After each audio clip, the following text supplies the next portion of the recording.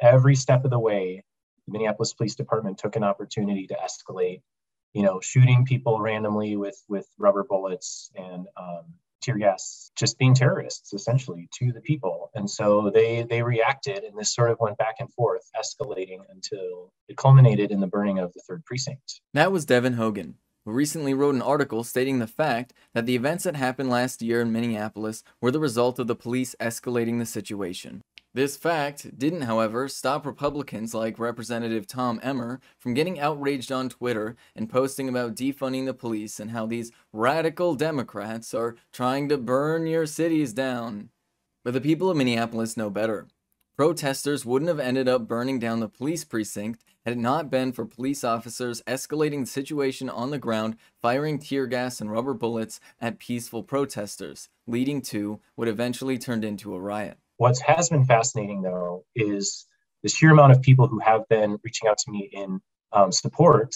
So many people read the piece and were like, "Oh yeah, cool, yeah, of course, that's of course, absolutely." But then seeing the reaction to it, we were just very surprised and like um, couldn't believe um, that people would want to try and distance themselves from it. That kind of. So I thought that was kind of surprising. Was the surprise that people had around the reaction, but um, because again for for so many people in minneapolis like they saw this with their own eyes like this is not controversial to them Police still to this very day are killing people, and whenever police kill people in Minnesota in particular, it seems their response is to call in the National Guard. When a police officer killed Daunte Wright in Brooklyn Center, Minnesota, the immediate response was to put National Guard troops on the ground. People in power, I think, are, are learning the wrong lesson from this which is that um, anytime the police kill someone, the appropriate response is to send in the National Guard. When and all, all that does is just escalate it. You know, people aren't going to go to their nearest police precinct and try and burn it down.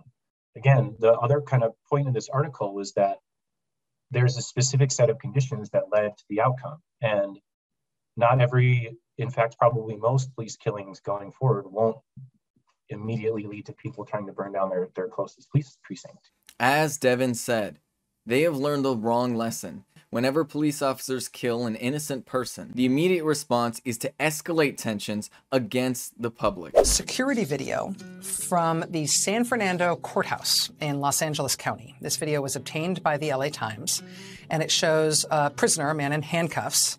Uh, you see in the blue trousers there and the white colored shirt. His, his name is Enzo Escalante. Um, it starts with him punching an LA County Sheriff's deputy, and then you see him get wrestled to the ground.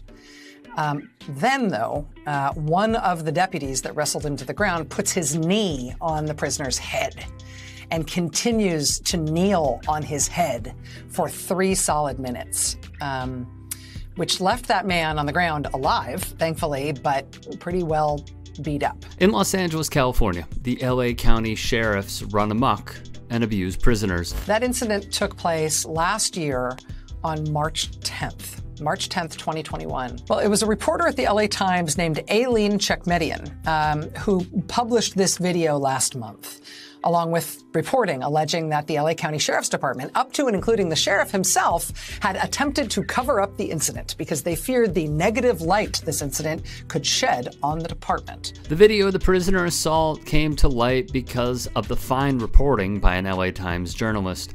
Now, Villanueva hinted she, along with two others, are under investigation for bringing his faults to light.